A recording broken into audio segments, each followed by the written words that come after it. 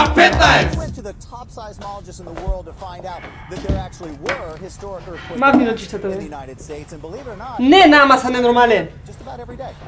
Кај за тебе овдека чистам, па ќе ми носиш говеда. Цел ден само топрам. Чистам, перам, пеглам, метам, ручеци прам, само работам, само работам. Слушай, ти ќе и каже или ја да и кажам? Не бе, јас ќе му кажам. Ти треба да си срекнеш во време на ваква невработеност и имаш работа најдено. Во ова криза. Која криза, море? Овдека ништо не успеот, па криза ќе успее. Least Батка. cover this Има право да ти кажам. Шо бе па ти то шо има право? Има право. За шо има право? Зошто толку песимизам и невервање? Имала право. Сакаш јас сега да ти кажам за шо нема право, а јас имам право? Абе, гледам се што се дешава, не сум ќорав. Нема врска, слушај ме сега ти, ако ова не е реално, дали јас ќе се вложам целосно вака? Па за тоа ме чудиш. Те чудам, па сега ќе ти кажам оти. Оти 2012 година е година на реформи, година на промени, на нови нешта. Вреди да се живее. Кажи му, миле. Во 2012 година ти знаеш колку крупни проекти ќе се реализираат нови сега. Ето само некој ќе ти набројам. Само некој. Пример, ќе имаме поскапа радиодифузна такса. Да, ама зошто? Ќе имаме поквалитетна програма или зошто поскапа струја?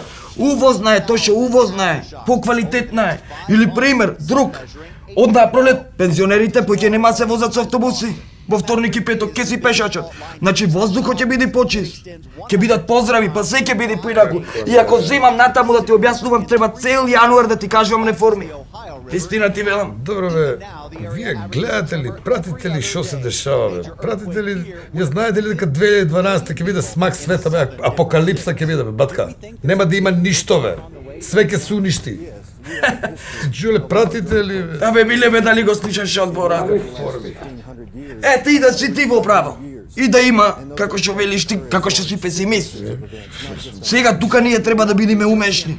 Од маните да направиме предности. Знаеш како треба? Ние сега треба да направиме кампања на ова. Каква кампања бе? Слушни ме сега, кај нас нема да има смак света.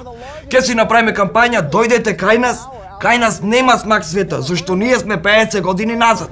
И сите ќе си дојдат, овде ќе и инвеститори, миле слушаш, инвеститори и све тоа што ќе дојде овде, овде ќе биде рај, убајна ќе биде. Слушајте ме. Се изида вака што ќе ви упада бали. Каков смак света бе у 2012 Тоа е само маркетишки трикови се тоа бе. Брат, за да не инвестираат у светов не бе капиталот. Каков смак света. Батка. Абе ако бе, бе, Кај ги знаеш ти овие работи бе? па би ја декли бев да вада пасош, би закажа ја да вада доам да си го зем 2013 Каков смак света. Ајде, жити ово.